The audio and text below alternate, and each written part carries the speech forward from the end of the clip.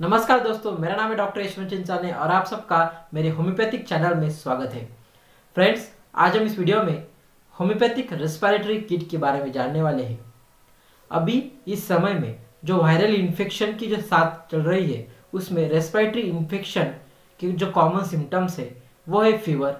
साथ ही साथ नाक में से पानी बहता है, आँखें लाल हो जाती है, खाना खाते समय गले में पेन होता है और अंदर से गले में खिचखिचाट महसूस होती है। और जब हम एग्जामिनेशन करते हैं तो उस समय जो गला है, वो रेडिश दिखाई देता है। तो ऐसे समय में और अपर रेस्पिरेटरी टैक इन्फेक्शन में और साथ ही साथ लोअर रेस्पिरेटरी टैक इन्फेक्शन में हम कौन कौन सी होम्योपैथिक दवाइयाँ यूज़ कर सकते हैं और उस दवाई को कीट जो रहती है, वो घर पे रख सकते हैं, उसके बारे में इस वीडियो में हम देखेंगे। तो चलो फ्रेंड्स ये वीडियो हम स्टार्ट करते हैं।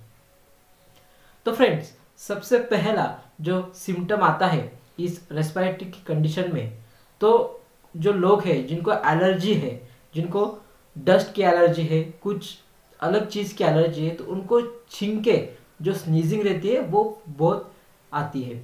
मतलब फ्रिक्वेंटली स्नीजिंग आती है। एक बार स्नीजिंग आ गई तो एक दो तीन बार, नहीं तो दस बार उनको छिंकना पड़ता है। तो इस कंडीशन में हम होम्योपैथिक की सबसे कारगर दवा लैमना माइनर का यूज़ कर सकते हैं। ये दवा हम सिक्स नहीं तो थर्टी पोटेंसी में लेंगे, आधे कप पानी में ले सकते हैं, नहीं तो डायरेक्ट टंग पे डाल सकते हैं। इसको हम फ्रिक्वेंटली एक एक घंटे से दो दो घंटे से रिपीट भी कर सकते हैं। देन फ्रेंड्स नेक्स्ट कंडीशन आती है जिसमें सिर दर्द करने लगता है, नाक में से पानी बहना लगता है और साथ ही साथ जो आँखें हैं वो लाल हो जाती है।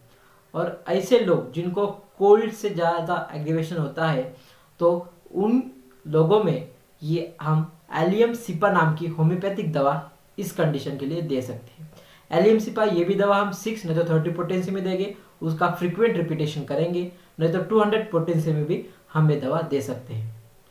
देन कुछ कुछ लोगों का ये इन्फेक्शन के वजह से गला बैठ जाता है, वो बोल नहीं पाते हैं, सोरनेस हो जाता है गले में।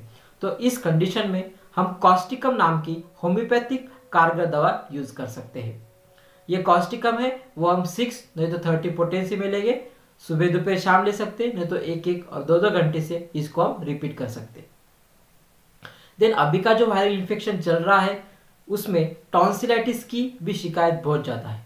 मीन्स जो हमारे टॉन्सिल्स रहते हैं उनका इन्फ्लामेशन हो जाता है ड्यू टू इन्फेक्शन रेडनेस हो जाता है। और हम जब कुछ भी चीज़ खाते हैं तो हमको खाने में और वो चीज़ निगलने में तकलीफ़ होने लगती है।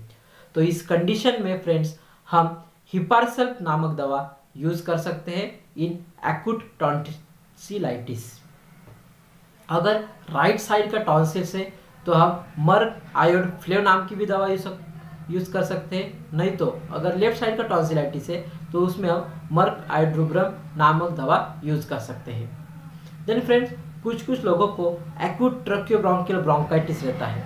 उनको ब्रोंकाइटिस की शिकायत रहती है, सूखी खांसी रहती है तो इस कंडीशन में हम स्टिक्टा पल्मोन नाम की दवा यूज़ कर सकते हैं। उसको हम 200 नहीं तो वन एम फोर्टीन सी तक ले सकते हैं।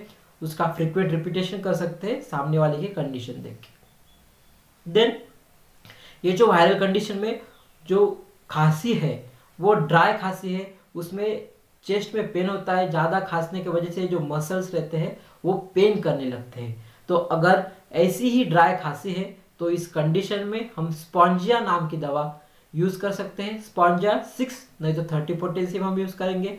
उसको एक एक घंटे से, दो दो घंटे से हम रिपीटेशन करेंगे। और हिपारसल भी दवा इस सूखी खांसी के लिए हम दे सकते हैं, जिनको ड्राई कोल्ड वेदर से एग्रीवेशन है, उन लोगों को हम दे सकते हैं।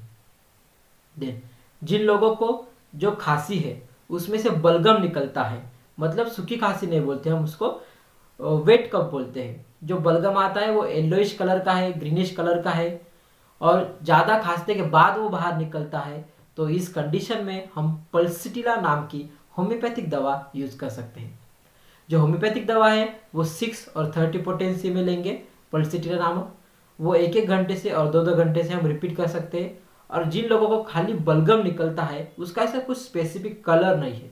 तो उसमें हम हिपार्सल ले सकते हैं।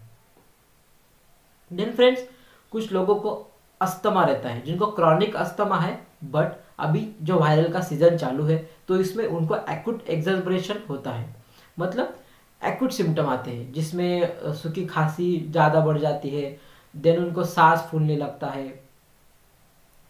तो ऐसे कंडीशन में हम कौन सी दवा दे सकते हैं क्या? यस हम अस्थमा के कंडीशन में और ये छोटे से एक्यूट सिम्टम में हम ब्लाटा ओरिएंटलिस नाम की दवा दे सकते हैं।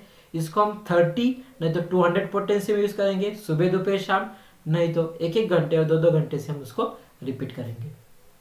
देन फ्रेंड्स ऐसी भी कंडीशन रहती है ब्रोंकाइटिस जिसमें हमारी जो श्वास नलिया है, वो उसका सूजन हो जाता है और उसके वजह से जो खांसी आती है, वो बलगम आता है, वो जल्दी निकलता नहीं है। ज़्यादा खांसने के बाद ही वो बलगम बाहर आता है और इस समय में पेशेंट पूरा थक जाता है।